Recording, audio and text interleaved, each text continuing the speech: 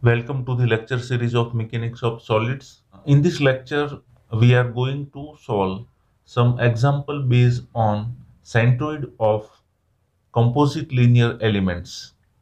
So let us start with the problem. This is the data of the problem given. Find centroid of wire ABCD shown in figure.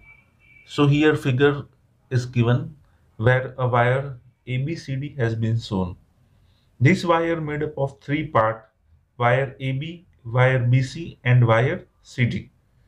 Now to solve the problem of centroid, the first step is to check whether there any axis of symmetry is available or not. In this figure, we can see there is no axis of symmetry parallel to x or y axis. If axis of symmetry is available, in that case, we can directly determine one of the centroid of figure. But in this case, there is no axis of symmetry. So let us move to the next step. In the second step, we need to finalize the axis of reference.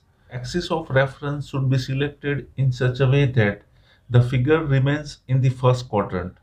So let us select the axis of reference. So here the axis of reference selected in such a way that the figure is now in the first quadrant. To determine the centroid of this composite linear element, the equation which we have seen that we have to use. So let us write the equation to determine x bar and y bar. We'll start with x bar first.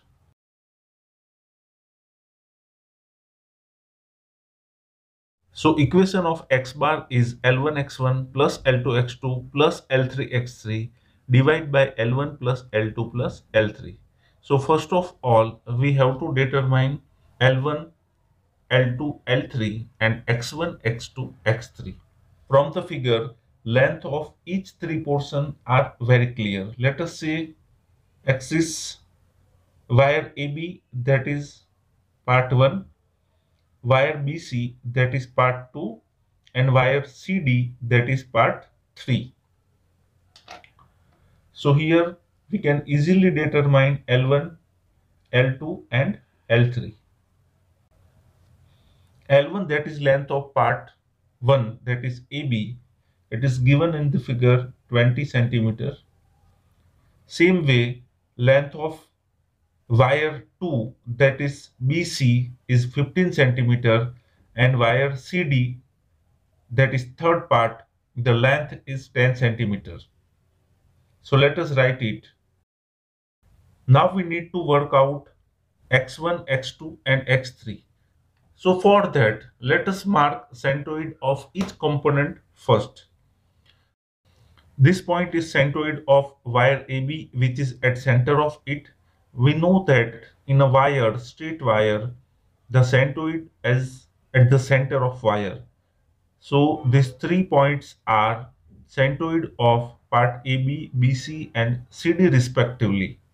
Now we need x1, x2 and x3 to determine x bar. x1 that is centroidal distance of centroid of first part from y-axis means parallel to x-axis. So this distance will be equal to x1. Total length of wire is 20 and this is the center point of wire so the distance of centroid along x-axis will be half of it. So it will be 10 centimeters. Now this is the centroid of wire 2 and in the figure it is very clear that the distance of this centroid from y reference axis that is this much distance and is equal to 20 centimeters. This is the centroid of third figure and the distance of this centroid from y reference axis means distance along x axis is this much. So this distance we know it is 20 centimeter and this distance will be half of CD because this is center point. So we can write 20 means this distance and plus this much distance that is total 10 by 2. So now we have worked out value of x1, x2, x3 and L1, L2, L3. Let us keep every value in the equation to determine x bar.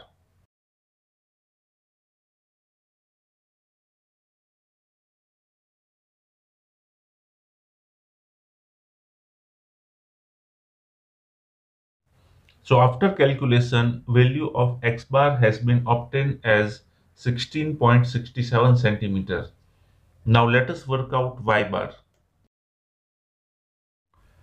So L1, L2, L3 are known. Now we have to work out y1, y2, y3.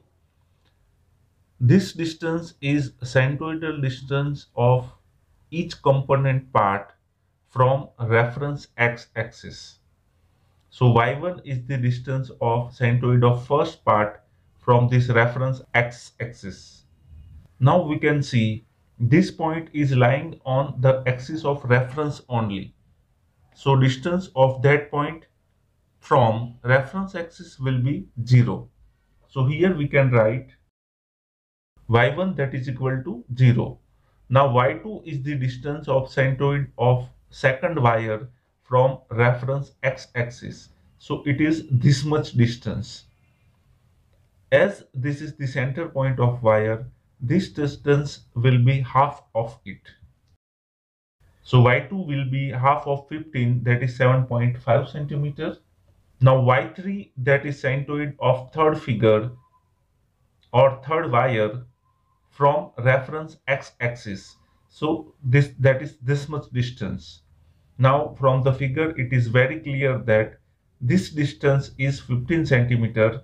So we can write y3 is equal to 15 centimeter.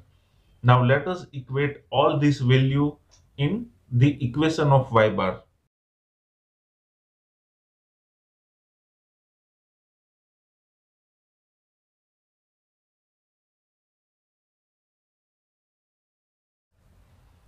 So after the calculation, value of y bar has been obtained as 5.83.